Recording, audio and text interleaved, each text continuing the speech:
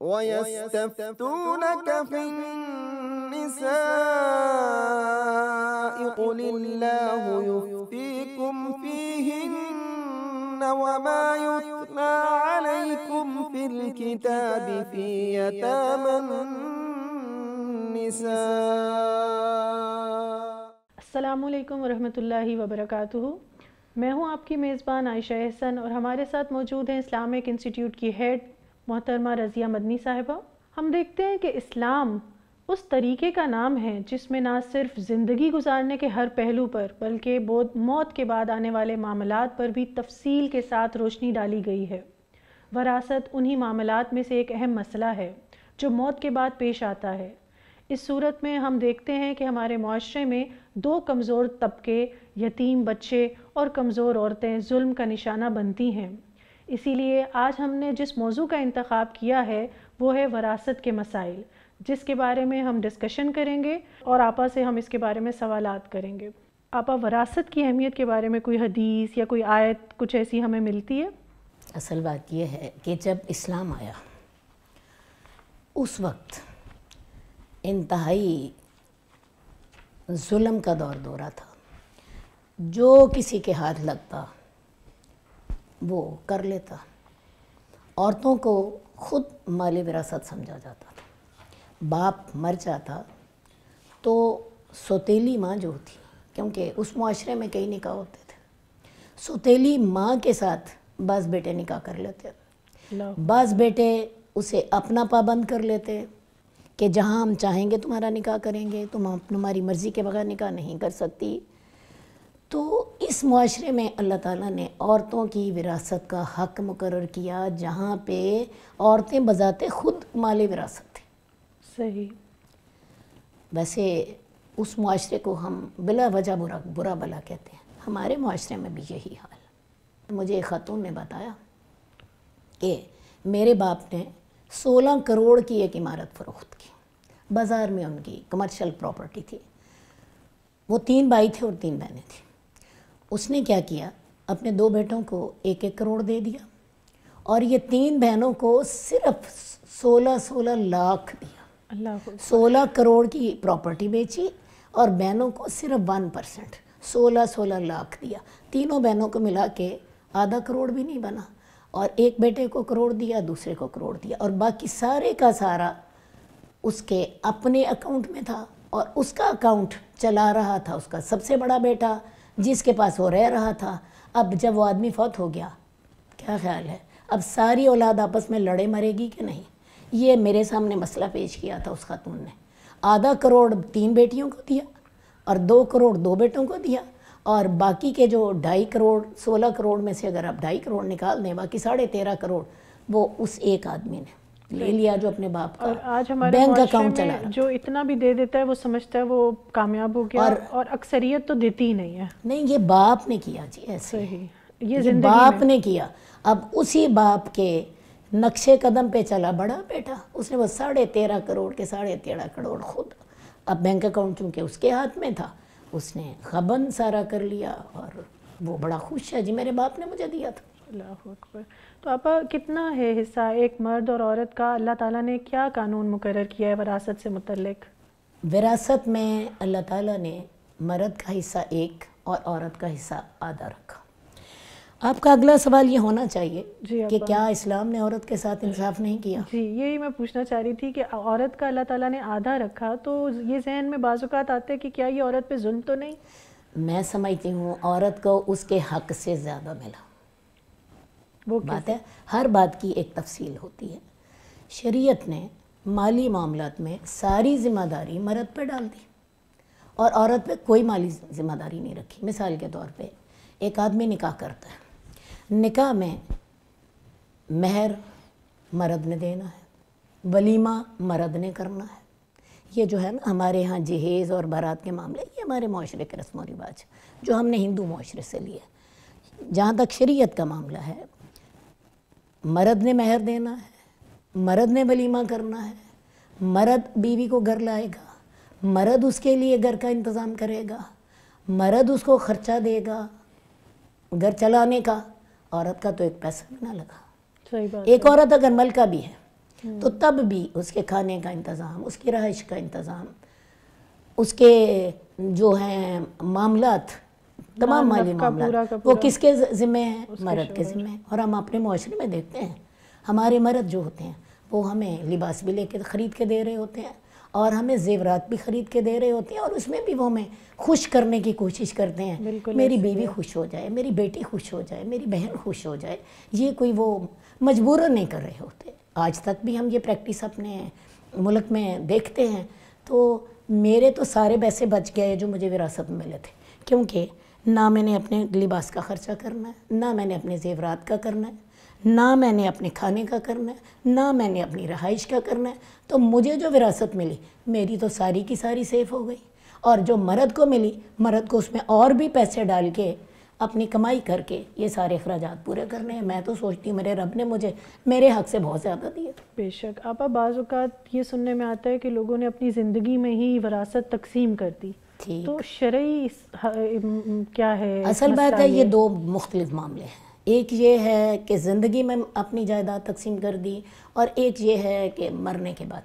बात है अगर आप अपनी ज़िंदगी में तकसीम करते हैं और उसकी भी बहुत सी वजूहत होती हैं। माँ बाप देखते हैं हमारे बच्चों की हमने शादी की है और उनके लिए ढेर सारे मसाइल हैं। वैसे भी जवानी का वक्त है उसकी उनकी बड़ी ख्वाहिशात होती हैं हम अपना घर बना लें हम अपने जी फ़लाँ ज़रूरत की चीज़ें हम कर लें। ठीक है फला कारोबार सेट कर लें। उनकी माली ज़रूरियात बहुत ज़्यादा होती हैं क्योंकि आगे से बच्चे भी हो रहे होते हैं। तो वालदेन सोचते हैं इनको इस वक्त माल की ज़रूरत है तो हम इनको बांट दें। बाज़ वालदेन का ये ख्याल होता है कि हमारे जाने के बाद इनमें झगड़ा होगा तो हम क्यों ना तकसीम कर दें? कोई भी वजह हो। जब ज़िंदगी में वालदेन तकसीम करेंगे तो उन्हें बेटी और बेटे को बराबर देना होगा। ये बात क्लियरली सुन लीजिए। अगर ज़िंदगी में तकसीम किया तो बेटे को भी एक बेटी को भी एक। सही यानी उसमें एक और आधे का रेशो नहीं होगा। ना कतल नहीं ये हिबा का मामला है। और अगर वफात के बाद हुआ बेटे का एक बेटी का आधा। सही तो लिहाजा अगर किसी ने ज़िंदगी में देना है तो उसको बेटे को भी एक देना है बेटी को भी एक देना है। और इसको कहते हैं हिबा। और इसकी दलील नोमान बिन बशीर की हदीस है। नोमान बिन बशीर ने अपने एक बेटे को एक ग़ुलाम दिया। अल्लाह के रसूल सल्लल्लाहु अलैहि वसल्लम से कहा, या रसूल, इस पर गवाह बन जाइए। ठीक है? क्योंकि उस मुआशरे में आपको पता है कई बीवियाँ होती थीं। शायद शायद कि मैं कह रही हूँ, उनका ख्याल ये होगा कि इस बच्चे से कोई और ना मांगे। और ये उनकी बीवी ने उन्हें कहा था। कि अल्लाह के रसूल को इस पर गवाह बना दीजिए ठीक है? रसूल वसल्लम ने उनसे पूछा क्या तूने अपनी बाकी औलाद को भी गुलाम दिया? वो कहने लगे या रसूल नहीं दिया। आपने फरमाया फिर मैं जुल्म का गवाह नहीं बनता। यानी अगर तकसीम मतलब औलाद में हिबा के मामले में भी आप मसावात का ख्याल नहीं रखते तो ये जुल्म है। ये जुल्म ये जुल्म है। आपने फरमाया मैं जुल्म का गवाह नहीं बनता। आपने फरमाया मैं अपनी औलाद के दरमियान इंसाफ करूँ। ठीक है? तो ये मामला है हिबा का। ज़िंदगी में देने का और वो मामला है विरासत का। तो इसलिए इन दोनों को मिक्सअप ना कीजिए। सही। यानी आपा आपने ये समझाया है कि वरासत तो है ही मरने के बाद। हाँ। और वो अल्लाह के कानून के मुताबिक ही तकसीम होगी जो हिस्से अल्लाह ने मुकर कर दिए। अगर ज़िंदगी में कोई अपनी माल अपना जायदाद बच्चों में तकसीम करना चाहता है तो वरासत नहीं कहलाएगी हिबा कहलाएगी और उस सूरत में फिर बराबरी होगी। बराबर। चाहे बेटा है चाहे बेटी। अब आप बाज़ात मुख्तलिफ़ नाम देकर या मुख्तलिफ़ बहाने बनाकर बच्चियों के बच्चियों को उनके हक वरासत से महरूम कर दिया जाता है। शरई नुक्ता नज़र से ये कितना बड़ा जुर्म है। बात यह है ये बात इतनी आम है कि मुझे हैरत होती है। हमारा चूँकि आवाम से रबता रहता है। कल ये भी बात हो रही थी एक बिज़नेस क्लास फैमिली के अंदर। उनका कहना ये था कि हमारे यहाँ ये तस्वुर ही नहीं है कि कारोबार में बेटी को हिस्सा मिले। अंडरस्टूड है कि कारोबार बेटे को ही मिलेगा, हालाँकि कारोबार होता है बीस करोड़ का। और मर्दों का कहना ये होता है, हमने बेटियों को जहेज़ नहीं दे दिया। जहेज़ आपने बहुत भी किया जी, आपने पचास लाख का दे दिया। आपने जी ज़्यादा ही हातम ताई की कबर पे लात मार दी, एक करोड़ का दे दिया। जबकि बेटे को अपने जो दुकान दी है जो कारोबार में हिस्सा बनाया है वो बीस करोड़ की दुकान है और वो सिर्फ़ बेटों का हिस्सा होगी। जी जैसे मैंने तो बिल्कुल आम है। बहुत से लोग हैं वो कहते हैं कि दुकान पे कारोबार में बहनों का कोई हक कोई हक नहीं। अगली बात सुने। जो जिम्मेदार हैं वो सिर्फ़ इस वजह से कि हमारी ज़मीन तकसीम ना हो। अपनी बेटियों की शादी अपने ख़ानदान में करते हैं बाहर नहीं करते। बाज़ात उससे 20 साल छोटे लड़के के साथ शादी कर देते हैं और ये जो जुल्म के बहुत से किस्से होते हैं उस उसकी वजह सिर्फ़ एक होती है ज़मीन हमारी ना ये तकसीम ना हो। तो बात ये है ये थोड़ा जुल्म नहीं है ये बहुत बड़ा जुल्म है। खा वो ज़मींदार करे खा वो कारोबारी आदमी करे या कोई जायदाद रखने वाला करे जैसे भी जिसके हालात हैं। अभी मैंने आपको आगाज़ में बताया कि 16 करोड़ की जायदाद बेची तो बेटियों को सिर्फ़ 16 लाख वन परसेंट दिया। और बेटों को एक एक करोड़, बेटों में भी बराबरी नहीं की, ठीक है? अब ये शरीयत के लिहाज से कितना बड़ा गुना है? ये कबीरा गुना है और इसके बारे में सूर निसा की आयत नंबर चौदह के अल्फाज हैं, जिसमें सारे विरासत के मसाइल बता दिए गए और आखिर में अल्लाह ने तबसरा किया कि ये अल्लाह की हदूद हैं और जो अल्लाह की नाफरमानी करे और उसके रसूल की नाफरमानी करे और उसकी हदूद से आगे बढ़ जाए। आगे बढ़ने से क्या मुराद है? उन पर अमल नहीं करे। हम उसको दोजख में दाखिल करेंगे। एक आदमी नमाज़ पढ़ता है, एक आदमी रोज़ा रखता है, एक आदमी मदरसा चलाता है, एक आदमी बहुत सखी है। अगर वो विरासत में कमी बेशी करता है तो इसी गुना की बिना पर उसको दोजख की धमकी सुना दी गई। अल्लाह अकबर, कितना अहम मसला है जो जानने की ज़रूरत है। बाज़ात रमज़ान में हम मुकम्मल कुरान करते रहते हैं। पूछा जाए कितनी दफ़ा पढ़ लिया? एक दफ़ा, दो दफ़ा, मैं तो चार, पाँच दफ़ा पढ़ चुकी हूँ। और हमें इन मामलात का पता ही नहीं होता, इल्म ही नहीं होता कि जो लोग चाहे सारी ज़िंदगी नेक काम करते रहे, आखिर जाते हुए अगर वरासत की तकसीम सही नहीं होती या कोई भाई अपनी बहन को हक से महरूम रखता है तो अल्लाह सुबहाना वाली ने सूरत निसा में उसके लिए हमेशगी की दोजख की वईद सुनाई है। अल्लाह ताला हमें समझ की तौफीक दे। मिलते हैं एक ब्रेक के बाद।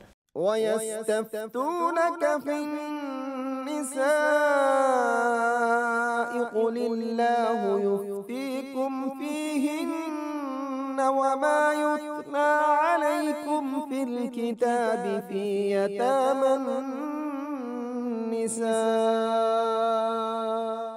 वेलकम बैक नाजरीन ब्रेक पे जाने से पहले हम वरासत के मसाइल पर बात कर रहे थे। और हमने ये जाना कि इस तकसीम पर अल्लाह की हदूद को पामाल करने की कतन हमें इजाज़त नहीं है।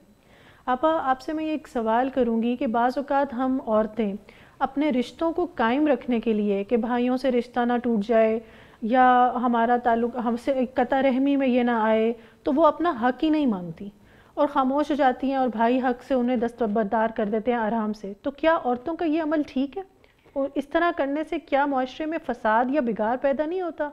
असल बात यह है, ये औरत की मजबूरी है। भाई हक देते नहीं, वो मांग भी लें तो तब भी भाई देने को तैयार नहीं होते। बाप नहीं देता। मैंने जो पहले मिसाल दी थी, उसमें बाप ने 16 करोड़ की जायदाद में से ए, सोलह सोलह लाख बेटियों को दे के तो टरखा दिया था। तो जब बाप का दिल इस लिहाज से इतना सख्त होता है तो भाई तो फिर भाई है। तो होता यह है, ये औरतों के ऊपर जुल्म है, ज़्यादती है। और औरत कभी भी इसको अपनी खुशी से माफ़ नहीं करती। भाई उन्हें ये कहते हैं, या ना भी मुँह से कहें, उन्हें अमलन पता होता है कि अगर हमने भाइयों से ये मांगा, हमारी उनके साथ लड़ाई हो जाएगी। वालदेन पहले फौत हो चुके हमारा मेका ख़त्म हो जाएगा। हम अपने मेके को बरकरार रखने के लिए उन्होंने ये उन्हें मजबूरी की ये कुर्बानी देनी पड़ती है। लेकिन मैं आपको बताऊँ वो कभी भी दिल से राज़ी नहीं होती। मुझे एक अकलन एक बात समझाएँ। एक जायदाद है जो मुझे मिल रही है और मैं उसे अपनी औलाद को दे सकती हूँ। तो मुझे अपने औलाद या अपनी औलाद में से अपना बेटा ज़्यादा प्यारा होगा कि मैं उसे वो जायदाद दूँ या मुझे अपना भाई ज़्यादा प्यारा होगा? आपका आपको सीधी बात समझ आ जाएगी। आप बेटे के बारे में बेटे और भाई में से तरजीह किसको देंगे? बेटे, बेटे को। अपनी औलाद या अपने बहन भाइयों में से किसको तरजीह देंगे? औलाद को। असल बात है ये मजबूरी है औरत की और इसको औरतें मजबूरी के नाम पे जो उन पे जुल्म होता है वो मज़लूम हैं और इस मजलूमियत को नाम दे दिया जाता है, जी हमारे रिश्ते कायम रहें। अल्लाह ने हमें ये हक दिया है। ये हमें हक भाइयों ने नहीं दिया। ना हमें ये हक जो है मुआशरा दे रहा है, ये हमारा रब हमें दे रहा है और हमारे वालदेन की जायदाद में से दे रहा है। तो लिहाजा अगर किसी ने ऐसा किया या किसी भाई ने ज़बरदस्ती की, वो याद रखे कि वो ये जो वईद है कि जो अल्लाह की हदूद से आगे बढ़ेगा अल्लाह उसे दोजख में दाखिल करेगा वो इसका हकदार होगा। अल्लाह पर वैसे कितने डरने वाली बात है ना एक हक जो औरत को अल्लाह ने दिया है हम लोग अल्लाह से भी बड़ा नाउज़बिल्ला अपने आप को बना लेते हैं कि उस हक से उसको महरूम कर देते हैं। अच्छा आप एक एक मिनट बाज़ भाइयों का ये कहना होता है कि देखो जी बहनों को हमसे माल ज़्यादा प्यारा है। ये बड़ा जज्बाती हमला होता है कि बहनों को भाई से ज़्यादा माल प्यारा है। मैं कहती हूँ भाई को भी बहन से माल ज़्यादा प्यारा था ना कि उसने बहन को छोड़ दिया माल ले लिया। सही बात है मतलब। देखो ना ज़रा भाई ज एक जज्बाती तौर पे बहनों को Attack करते एक्सप्लॉइट हैं। करते हैं कि जी इन्हें भाई से माल ज़्यादा प्यारा है। अरे भी तुम्हें भी तो बहन से माल ज़्यादा प्यारा होगा ना जो तुमने बहन का हक मार लिया। और बाज़ अवत आ- ये मतलब आम तौर पर यही कहा जाता है कि हमने जहेज़ दिया लाखों का और इतना इतना तो ये उनका तो हक अदा हो गया तो अब तो बाकी जो है वरासत का माल वो हमारा ही है। तो इस सूरत में क्या कहती देखिए जी मेरा आपने मैं दोबारा आपके आपको वही बात बताऊँगी जो मैंने थोड़ी देर पहले की थी। आपने विरासत छोड़ी एक दुकान जिसमें 20 करोड़ का माल पड़ा। वो तो आपने दे दिया अपने दो बेटों को और जो दो बेटियाँ थी आपकी उनको आपने जहेज़ दे दिया। उस जहेज़ में आपने ज़्यादा से ज़्यादा देखो जी आधे करोड़ का जहेज़ दिया पचास लाख थोड़े नहीं पचास लाख का जहेज़ दे दिया दोनों को मिला के करोड़ का दे दिया या बहुत जी आपने बड़ा कमाल किया आपने एक करोड़ का जहेज़ दे दिया। दो दुकान बीस करोड़ की है ये जहेज़ एक करोड़ का है। इन दोनों के अंदर कोई मुशाबियत है? ये सिर्फ़ और सिर्फ़ गुनाह पर अपने आप को मुतमिन करना है अपने ज़मीर को जस्टिफाई करना है। अल्लाह ने आपको कतन नहीं कहा कि आप जहेज़ दो। अल्लाह ने आपको विरासत का कहा है। आपने जहेज़ दे दिया ठीक है जी। आपने दे दिया। लेकिन अगर आप विरासत नहीं देंगे दोजा के हकदार बने अल्लाह के बड़ी बड़ा बेहतर है। कि इंसान विरासत दे दे जहेज़ उतना दे दे जितना कर सकता है। उसमें ना ना ज़्यादा अपने आप को तंग करे। अब इसी तरह बाज़ात ये सिचुएशन होती है जिस तरह हमने अभी देखा कि औलाद का हक है वालदेन की वरासत में। औलाद हकदार है बेटे भी बेटियाँ भी इसी तरह बीवी भी हक रखती है शोहर की वरासत में। तो अगर किसी औरत का निकाह होता है और अभी रुखसती होने से पहले शोहर फौत हो जाता है तो ऐसी सूरत में क्या वो अपने शोहर के माल की वारिस बनेगी? जो मैं आपका जवाब दूँगी ना आपको वो हैरान कर देगा। ज़रूर। हमारा रब हमारे साथ बहुत मेहरबान। और मुझे तो यूँ लगता है अपनी बंदियों के साथ अल्लाह ताला ज़्यादा ही मेहरबान। एक औरत का खामिन फौत हो गया अभी उसकी रुखसती नहीं हुई थी वो औरत उसके निकाह में थी। उस औरत को हक महर पूरा मिलेगा। अगर तय हो गया था। तय हो गया था, फलां जी जेवर आपको हक महर में देंगे, फलां मकान आपको हक महर में देंगे, सारी सूरतें हो सकती हैं। बाज़ ख़ानदान जो होते हैं, कोई प्लॉट मंगनी के मौके पे देते हैं। मुझे ऐसे खान, बहुत से ख़ानदानों का पता है, जो मंगनी के मौके पे प्लॉट दे देते हैं।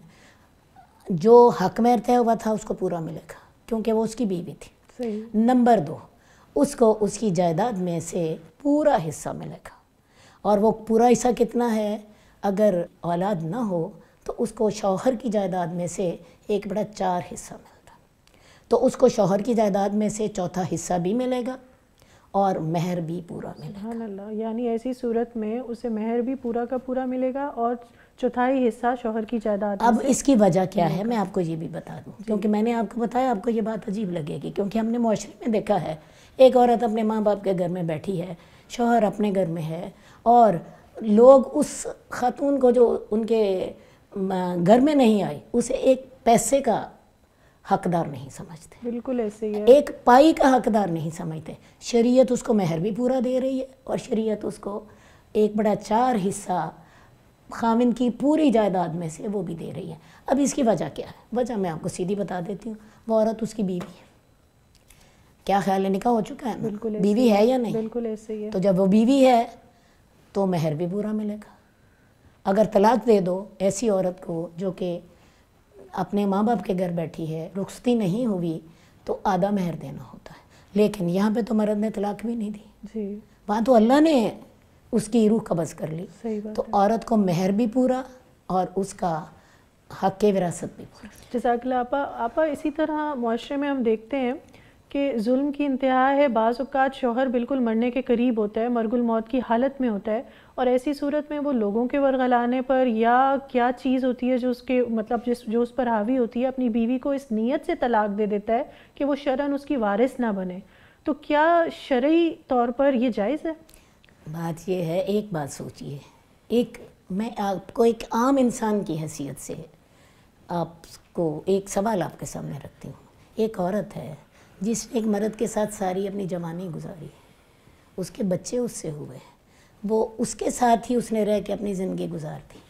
अब वो आदमी जो है, वो मरते वक़्त उसको तलाक दे जाता है सिर्फ़ इस वजह से कि मेरी औलाद सारी जायदाद की वारिस बन जाए और मेरी बीवी वारिस ना बने। मैं कहती हूँ, इस आदमी से ज़्यादा बद आदमी कोई हो सकता है।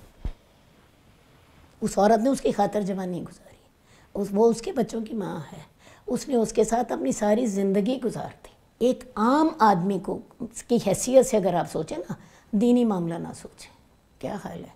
इससे ज़्यादा बद अखलाक़ी कोई और होगी? कि वो मरते वक़्त बजाय इसके कि बीवी के साथ कोई नेकी करता या उससे माफ़ी माँगता कि अरे भाई मेरे से कोई तुम्हारे हक़ में गलती हो गई हो तो मुझे माफ़ कर देना। क्योंकि क़्यामत वाले दिन अल्लाह ताला ने हर एक से हक हकूक का सवाल तो करना है। क्या ख्याल है खामिद इससे मुस्तर होंगे? कतान नहीं। दुनिया में तो खामदों ने समझ लिया जी सारे हकूक हमें मिल गए। लेकिन ये मामला क़्यामत वाले दिन नहीं है। बिल्कुल ऐसे ठीक है? दुनिया में भी अल्लाह ने फरमा दिया खैर हुकुम खैर हुकुम ले ठीक है? लेकिन उस आदमी ने यह समझा कि मैं जाते जाते इस औरत को जितना एक्सप्लॉयट कर सकता हूँ मैं कर लूँ। आप बताइए एक आम इंसान के नज़दीक वो उसका किरदार कैसा है? शरीयत की नज़र में उससे भी बदतर। और बज़ाहिर ऐसे लगता है कि वो औरत पर जुल्म कर गया जुल्म तो किया मगर मैं सोचती हूँ कि असल जुल्म तो उसने अपनी ज़ात पर किया। बिल्कुल ऐसा ही है। उस असल जुल्म उसने अपनी ज़ात पर किया और अपने आप को उसने अल्लाह ताला के जो हिसाब किताब लेने का मामला है उसमें अल्लाह ताला उससे ख़ुद हिसाब लेंगे कि हाँ भाई तूने ऐसा क्यों किया था? ठीक है जी? अच्छा ये जो मसाइल हैं विरासत के चलते चलते मैं एक और बात औरतों को कहना चाहती हूँ। ज़रूर आप। एक तो बात यह है कि आपको अपने हक़ की विरासत का पता नहीं ये हक़ अल्लाह ने आपको दिया है और इसको आप ज़रूर लिए। बज़ अवकात भाई ये करते हैं कि वो कहते हैं, बहन ने मुझे माफ़ कर दिया। तो इसका एक और हल है। भाई जायदाद बहनों को दे दें और उसके बाद बहनों को इख्तियार दें कि भी चाहो तो तुम रख लो, चाहो तो हमें दे दो। ये है माफ़ करना। ये माफ़ करना नहीं है कि आपने जबरन उसे दिया ही नहीं और नाम ले दे दिया माफ़ करने का। इसलिए मर्द हजरात जो सुन रहे हैं वो अगर वाकई समझते हैं कि बहनों ने माफ़ कर दिया तो उसका तरीका ये है बहनों को आप वो हक दे दें। देने के बाद बहनें अगर आपको वापस कर देना तो मैं समझती हूँ वाकई उन्होंने माफ़ किया। लेकिन अगर मुझे इतना पता है कि जिस औरत को मिल जाएगा वो कभी वापस नहीं करेगी। एक बात, दूसरी बात मैं और ये कहना चाहूँगी कि जब कोई भी शख्स मालदार है, कोई औरत भी बाज़ात मालदार हो सकती है, कोई औरत को अपने वालदेन से जायदाद मिली हो सकती है, कुछ औरत की अपनी कमाई हो सकती है, बाज़ औरतें अपना कारोबार कर रही होती हैं, जैसा भी मामला है। औरतों को एक बात ज़रूर याद रखनी चाहिए। शरीयत ने हमें एक हक़ दिया है कि हम अपने मरने के बाद अपने माल में से वन थर्ड की वसीयत कर सकते और ये वन थर्ड की वसीयत मौत के बाद जब हमारा माल तकसीम होगा सबसे पहले उसमें से कर्ज निकाला जाएगा अगर हमने देना है और अगर नहीं देना तो फिर सबसे पहले वसीयत निकाली जाएगी। वसीयत का एक बड़ा तीन हिस्सा अलहदा कर दिया जाएगा और बाकी दो बड़ा तीन हिस्सा बारसों में बारसों में तकसीम कर दिया जाएगा। और चूँकि ये वसीयत का मामला ये होता है कि वसीयत वारिसों के लिए नहीं हो सकती। आप अपने बेटी बेटे के हक़ में वसीयत नहीं कर सकते या जिनको अल्लाह ने वारिस बना दिया उनके हक़ में आप वसीयत नहीं कर सकते। हम्म। तो ये वसीयत लाजमन आप किसी थर्ड पर्सन के लिए करेंगे किसी बरादरी में गरीब यतीम के लिए सदका जारिया या किसी मस्जिद के लिए किसी मदरसे के लिए। और ये सदका जारिया आपका आपकी कब्र को ठंडा करेगा। क्योंकि मरने के बाद जब आप वारिस के हक में तो वसीयत कर ही नहीं सकते। जी। तो करेंगे ही आप नेकी की नीयत से। और इसके साथ आपकी कब्र रोशन होगी। तो ख़वातीन अपनी औलाद की मोहब्बत में अपने इस हक को नज़रअंदाज ना कीजिए। आपकी अपनी ज़ात सबसे पहले औलाद उसके बाद में। हमारी कब्र में हमारे किसी बच्चे ने हमारे साथ नहीं जाना। बिल्कुल ऐसे ये वो हकायक हैं जिनको हमें देखना है। हमारी कब्र में किसी बच्चे ने हमारे साथ नहीं जाना। हमें खुद ही जवाब देना है अपना। और हमारी कब्र में रोशनी भी हमारे ही अमाल की वजह से आएगी। तो इसलिए बाज़ात ख़वातीन औलाद की मोहब्बत में इतनी दूर तक चली जाती हैं कि वो सोचती हैं नहीं नहीं मेरा सारा मेरे बच्चों का। अरे भई आपकी ज़ात जो है वो भी मौजूद है। तो वन थर्ड अपनी जो वसीयत का हक अल्लाह ने आपको दिया है इससे ज़रूर फ़ायदा उठाइए। और ये वसीयत आपके पास तहरीरी लिखी होनी चाहिए। रसूल सल्लल्लाहु अलैहि वसल्लम की हदीस के अल्फाज ये हैं कि जिसके पास मालूम दो दिन ऐसे नहीं गुजरने चाहिए कि उसकी वसीयत तहरीरी तौर पर उस पर मौजूद आपा जी बहुत शुक्रिया। जी नाजरीन मुझे उम्मीद है कि आपने इस्तफ़ादा हासिल किया होगा। जो चीज़ समझ में आती है वो ये कि हम में से हर एक को इल्म मिराज सीखना लाजमी है।